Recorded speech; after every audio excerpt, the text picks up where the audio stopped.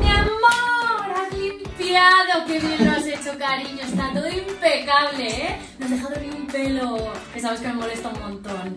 Como los chorros del oro, puedo comer aquí encima y todo. ¡Hola, mi niño! Material de esposo.